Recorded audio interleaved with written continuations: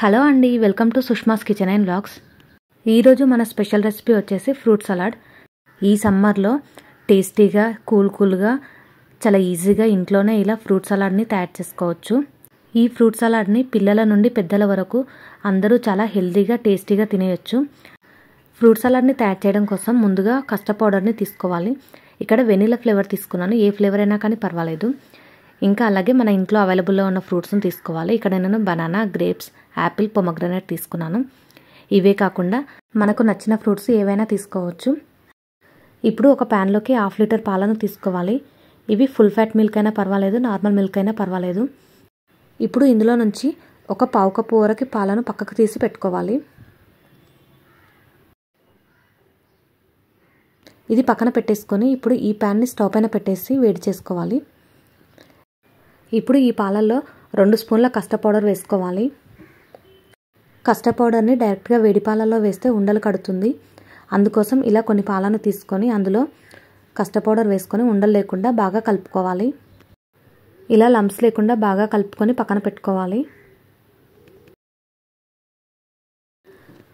ఇప్పుడు స్టవ్ పైన పాలు మీగడ కట్టకుండా మధ్య మధ్యలో కలుపుతూ వేడి చేసుకోవాలి. ఇలా అంచులకు పట్టుకున్న మీగడను గిన్నెలోకి వేస్తూ కలుపుకోవాలి. ఇప్పుడు ఇందులోకి ఒక హాఫ్ కప్పు చక్కెరను వేసుకోవాలి. లేదా మీ స్వీట్నెస్ తగ్గట్టుగా వేసుకోవచ్చు. ఒకసారి కలుపుకొని ఈ పాలను బాగా మరిగించుకోవాలి. పాలు ఇలా బాగా మరిగిన తర్వాత ఇప్పుడు ఇందులోకి మనం కలిపెట్టుకున్న కష్ట పౌడర్ని యాడ్ చేసుకోవాలి. ఇది యాడ్ చేసుకునే ముందు మళ్ళీ ఒకసారి బాగా కలుపుకోవాలి. ఇలా కలుపుకున్న తర్వాత పాలలో వేసుకుంటూ కలుపుకోవాలి. ఇప్పుడు అంతా కూడా బాగా కలుపుకోవాలి లేదంటే ఉండలు కడుతుంది.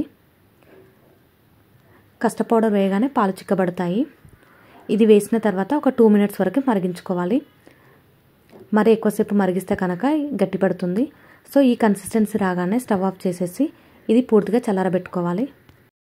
ఇలా స్పూన్తో కలుపుతూ మీగడ కట్టకుండా చల్లారబెట్టుకోవాలి. అలాగే వదిలేస్తే మీగడ కడుతుంది. సో అందుకోసం ఇలా కలుపుకుంటూ పూర్తిగా చల్లారనివ్వాలి. ఇలా మొత్తం చల్లారిపోయిన తర్వాత ఇప్పుడు దీనిని ఒక బౌల్లోకి తీసుకోవాలి.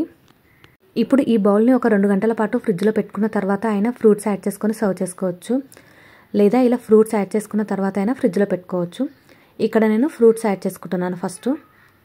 అందులోకి కట్ చేసి పెట్టుకున్న బనానా గ్రేప్స్ పెద్దగా ఉన్నాయని చెప్పేసి ఇలా కట్ చేసి తీసుకున్నాను. ఇంకా కట్ చేసి పెట్టుకున్న యాపిల్ ఒక పొమగ్రనేట్ను వేసుకున్నాను. ఇవే కాకుండా మీకు నచ్చిన ఫ్రూట్స్ వేసుకోవచ్చు. పపాయ కానీ స్ట్రాబెర్రీస్ కానీ కివీ కానీ లేదా డ్రై ఫ్రూట్స్ కూడా వేసుకోవచ్చు. ఇలా మనకు నచ్చిన ఫ్రూట్స్తో హెల్తీగా టేస్టీగా ఫ్రూట్ సలాడ్ని తయారు చేసుకోవచ్చు. ఇప్పుడు ఈ బౌల్ని ఒక టూ అవర్స్ పాటు ఫ్రిడ్జ్లో పెడితే చల్లబడుతుంది. టూ అవర్స్ తర్వాత సర్వ్ చేసుకుంటే ఎంతో టేస్టీగా ఉంటుంది చల్ల చల్లగా చాలా బాగుంటుంది. ఈ సమ్మర్లో తప్పకుండా ట్రై చేయండి. అలాగే ఎలా వచ్చిందో కామెంట్స్లో చెప్పండి. ఈ వీడియో కనుక మీకు నచ్చినట్లయితే please like share and subscribe my channel for more videos పక్కనే ఉన్న బెల్ ఐకాన్ కూడా నొక్కండి. Thank you for watching this video